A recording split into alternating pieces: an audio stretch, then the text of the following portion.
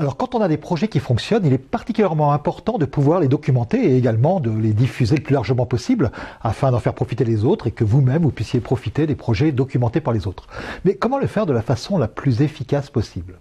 Je suis Jean-Michel Cornu, spécialiste de la coopération et de l'intelligence collective et aujourd'hui on va voir des recettes de projets pour partager nos savoir-faire. Avec le groupe AnimeFaire qui rassemble 400 animateurs de différents groupes, on a essayé de se poser la question de quoi mettre dans une recette de projet. Alors c'est un petit peu comme une recette de cuisine, c'est-à-dire qu'en fait, il ne s'agit pas simplement de mettre la recette, mais aussi les ingrédients, la difficulté, le temps de préparation, etc. Alors pour euh, traduire tout ça en projet, on a, imaginé six aspects.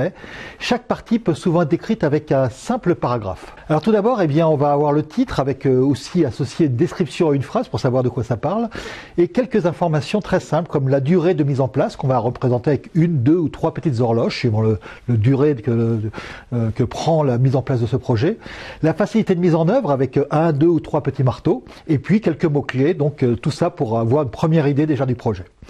La deuxième partie, c'est pourquoi se lancer dans le projet? Alors peut-être juste un petit paragraphe, mais en gros, euh, quel est l'intérêt, qu'est-ce que ça apporte? Une troisième partie aussi pour mieux comprendre le projet. Alors euh, on peut y présenter l'origine du projet, euh, ce que vit un utilisateur lorsqu'il va participer à ce projet-là, quelques succès, peut-être les freins et des difficultés rencontrées et donc les, choses qui, sont un peu à améliorer. Et bien sûr, la quatrième partie eh bien, va être euh, la mise en œuvre du projet euh, pour s'en inspirer. Donc là, euh, on va avoir la recette pour les presser, c'est-à-dire une recette très très rapide en un ou deux paragraphes. Qu'est-ce qu'il faut faire avant, de façon un peu plus détaillée? Qu'est-ce qu'il faut faire pendant Et qu'est-ce qu'il faut faire après? En cinquièmement, on peut avoir aussi des retours d'expérience, donc euh, quelques petites euh, aspects en disant tiens, euh, en faisant ça, bah, on a on a réussi à faire quelque chose d'un petit peu différent, mais intéressant, ou voilà quelques exemples de ce qu'on a fait. Et puis une sixième partie pour aller plus loin. Alors comment ne pas rester seul? Ça c'est très important parce que finalement, si on avait juste du texte, mais peut-être votre contact pour que des personnes qui voudraient reproduire ce projet-là puissent s'inspirer, vous poser quelques questions, ou alors des personnes qui l'ont fait, ou peut-être une association aussi, euh, comme dans les incroyables comestibles, par exemple, il y a une association française ou d'autres choses comme ça. Éventuellement une bibliographie avec des livres, des webographies et quelques liens, et puis quelques ressources pratiques euh, qu'on peut avoir, qu'on peut imaginer. C'est à cet endroit-là également qu'on pourra rajouter des commentaires de ceux qui ont testé la recette avec euh, plusieurs éléments, avec ce qu'ils ont peut-être transformé, amélioré ou autre. Et puis on peut imaginer aussi une partie, voir aussi, si, pour parler d'autres projets, faire des liens vers d'autres projets complémentaires qui ressemblent à ça, mais qui sont un petit peu différents. La septième et dernière partie, c'est simplement une licence euh, pour euh, être sûr qu'on puisse copier et partager. Souvent une licence Creative Commons. Je vous rappelez-vous, on en parlé dans Faites-vous copier pour mieux diffuser. On avait parlé en particulier des Creative Commons CC by SA qui vous permettent effectivement de partager à condition de citer la source. Alors, si vous voulez vous lancer, nous avons lancé à quelques-uns un projet dans le Wikilivre. Alors, vous savez, Wikilivre, c'est un projet de la Wikimedia Foundation, un peu comme Wikipédia. Donc, euh, tout le monde peut rajouter des choses.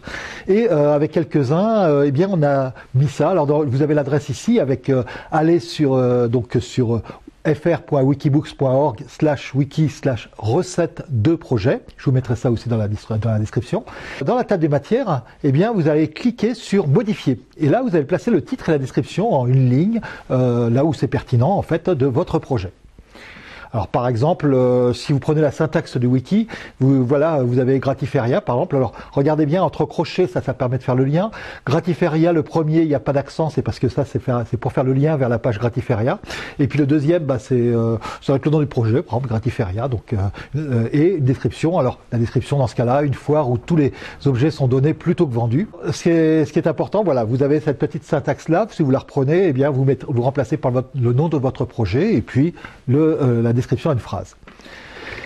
Vous retournez sur la page d'accueil et là vous allez sur modifier la recette type et vous allez pouvoir copier-coller tout le code de la recette type, c'est-à-dire les différentes parties que l'on a vues juste avant et là vous allez pouvoir les coller, dans votre recette à vous et vous n'avez plus qu'à compléter. Donc remplissez ce que vous pouvez, hein, seul ou à plusieurs à l'occasion d'un script d'écriture comme on l'a vu euh, dans un dernier truc d'animation.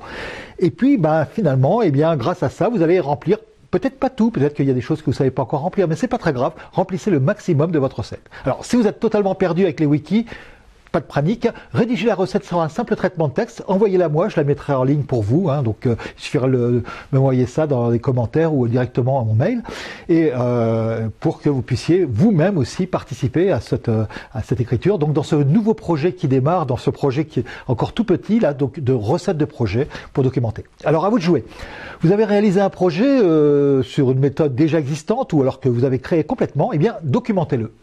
Documentez-le, préparez votre recette de projet, partagez-la, mettez-la pourquoi pas dans les recettes de projet. Et puis comme d'habitude, commentez, abonnez-vous avec la petite cloche pour être prévenu des prochaines vidéos, likez. Et vous pouvez télécharger le guide de l'animateur une heure par semaine pour animer une grande communauté. Et je vous donne rendez-vous pour un prochain truc d'animation.